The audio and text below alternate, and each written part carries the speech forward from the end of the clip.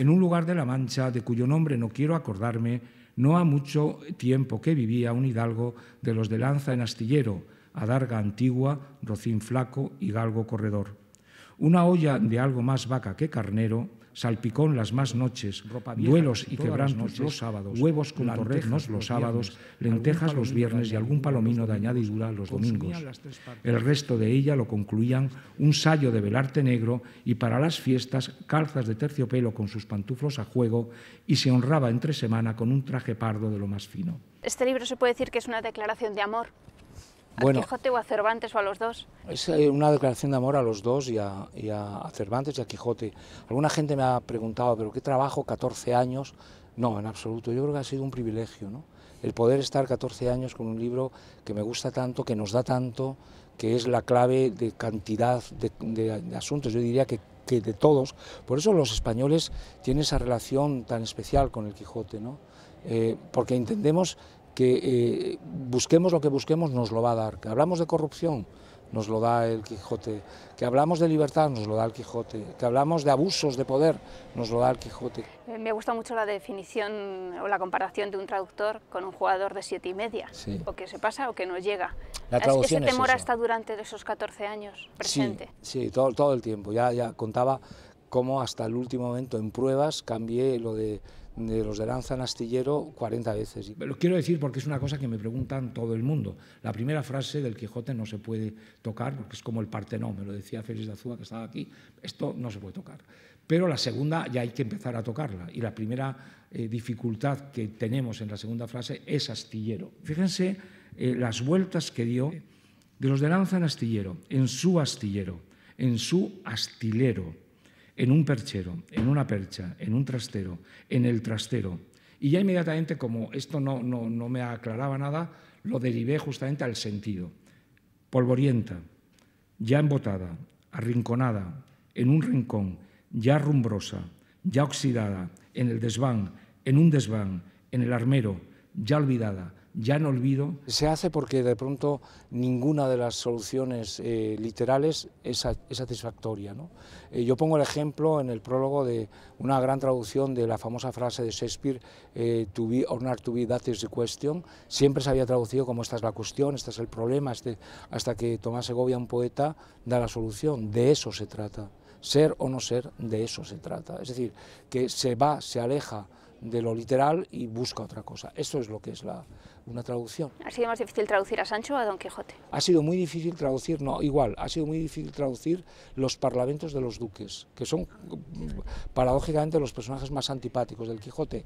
Quizás porque Cervantes eh, da en ellos imperceptiblemente una lengua que es eh, un poquito más eh, retórica y un poquito más, sí, más, más rehecha, más redicha, ¿no? Y además como la duquesa es muy cursi, eh, seguramente Cervantes trata en sus giros verbales de reflejar una cursilería que a nosotros ya no percibimos, pero que en la época es muy, probable, es muy probable que el lector de la época entendiera el tono ese un poco redicho de los duques como una leve crítica a los propios duques. Bellorí, por ejemplo, ¿Bellorí? es una palabra que solo aparece en el Quijote, sí.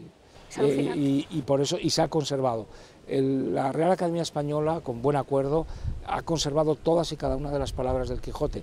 No así de otros libros clásicos. Muchos eh, lectores, muchos buenos lectores no lo han leído precisamente por eso, porque no son capaces de entenderlo. Y eso, eh, España tiene un, un conflicto enorme con el Quijote, vive muy traumáticamente el fracaso con el Quijote y muy pocas personas admiten no haberlo leído. En un momento determinado, eh, eh, Don Quijote dice que tiene tanta hambre que se comería, dice, un cuartal de pan o una hogaza con, dice textualmente, dos cabezas de sardinas arenques. Entonces dices, bueno, si tiene tanta hambre, ¿cómo se va a comer dos cabezas de sardinas arenques, que es justamente lo, que tiramos? ¿no? Esto ha sido así durante todo el tiempo, ¿no?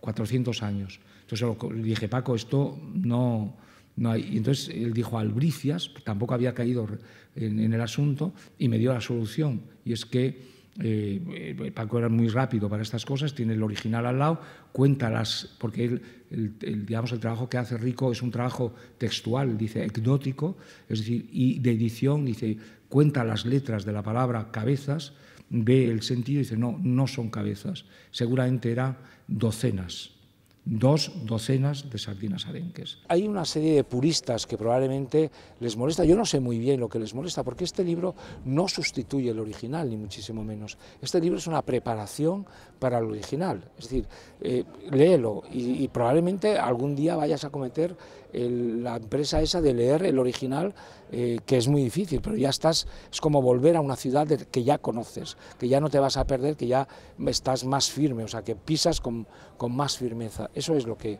lo que es este libro. Por tanto, los puristas esos que dicen que se rasgan las vestiduras, es que, es, que es, una, es un disparate, o sea, es decir, que no, no tiene ni pies ni cabeza, es decir, que, que el Quijote está bien de todas las maneras. ¿Qué pasa? Que, que a un alemán, por ejemplo, a estos puristas del, del castellano, les diríamos entonces que el, el Quijote en alemán se debería traducir entonces a un alemán del siglo XVI. El libro verdadero en la literatura es el libro que se lee, que se entiende, que se disfruta, que se transmite, que se propaga, del que todo el mundo habla. Eso es exactamente un libro. Si queremos seguir hablando la lengua de Cervantes, tenemos que hacer que Don Quijote hable nuestra lengua, porque si no, esto se convertirá en un libro estudiado o conservado en una vitrina, pero no un libro leído. Eh, me gustaría que me alabaran, como dice también el propio Cervantes, no por lo que he traducido, sino por lo que he dejado de traducir.